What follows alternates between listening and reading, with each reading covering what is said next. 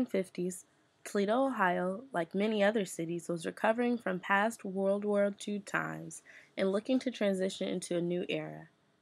The heart of the city, downtown, was an area that was once thriving and booming with business and civilian life and now was desolate, and city officials saw this as a problem.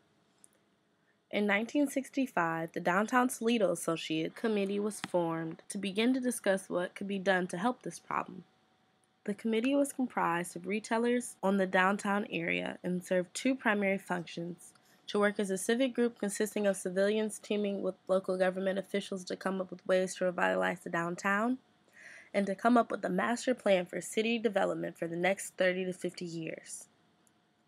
This movement toward planning and development in the city was a new phenomenon adopted by many cities in America around this time.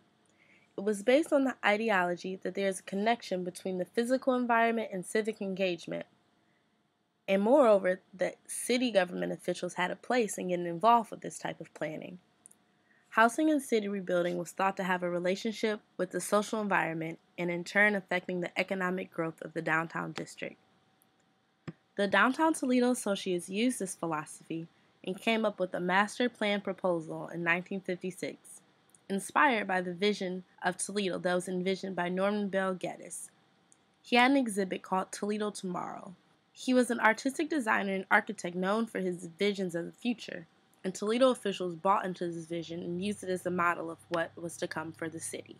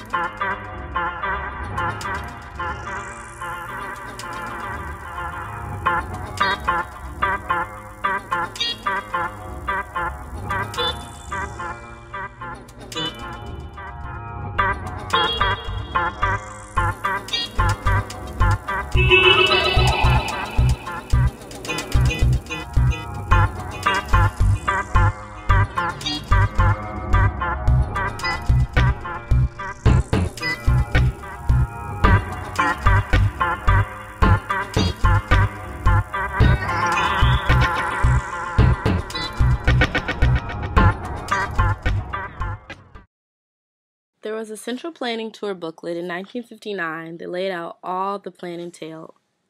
The goal of the master plan was to reverse the trend to suburbia. In the 1950s, there were many citizens who worked downtown in Toledo, but as the migration of African Americans from the South moved up north around this time, due to racial tension, many of the white citizens who were employees began to move out to the suburbs. In this country, this happened in many cities and was known as the white flight. Housing projects were sought out as a way to coerce these employees from moving to the suburbs. This was the main focus of the 1956 master plan proposal. There is a specific project included in the master plan that spoke of an area adjacent to the downtown business district in the Maumee River of decrepit 70 to 100 year old buildings and to replace them with modern high rise and garden apartments that will attract high and middle class executives and their families. They wanted to lure back people from a booming suburbia into the heart of the city. In this planning document, Mr. Orville Bauer stated Many busy executives are tired of commuting. They want to live near their work and will if we provide them with bright, cheerful surroundings and privacy without feelings of confinement. This project idea he spoke of became known as Vistula Meadows, a project that would consist of high rise 16 story apartments with two bedroom suites where tenants on the first floor could have an unobstructed view of the other buildings, and also two story apartments that were seen out of the windows of the high rise. They would also have window walls to allow for the tenants to have that feeling of not being confined to their homes and that the, ci- the city really was theirs to embrace and contribute to. Mr. Lawrence F. Murray, the director of the Toledo Lucas County Planning Commission, felt that the Vistula Meadows will have important effects on the whole community and will expand from downtown to outlying areas to stimulate a new wave of growth in the city's central business district. This plan was put into works by Plans' sectioned out buildings in the downtown Toledo area and surveyed them for marketability and reuse appraisal by the Urban Renewal Agency of Toledo. The ones not deemed as marketable and reasonable were deemed as slums and to be torn down.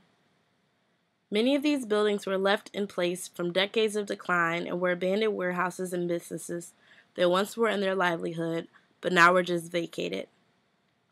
The plan was to rid the city of this type of look and to bring business and hope to one day see a revitalized downtown Toledo.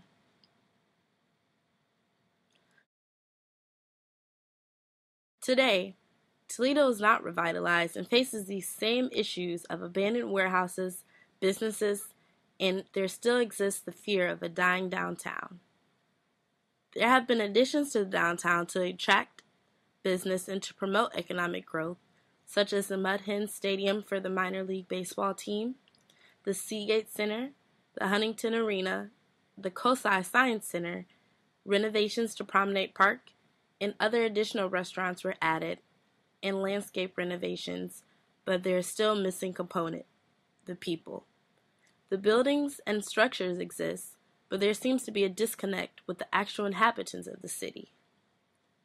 Past and present plans of revitalization from city officials and retailers both bank on business and retail as tools to shift the decline of decay of Toledo and to shift the social, social and cultural values. But cases such as this one show that maybe this is not the answer. As a current citizen of Toledo, I too hope to see Toledo one day revitalized and hope that the citizens themselves will actually have a voice in their Toledo for tomorrow.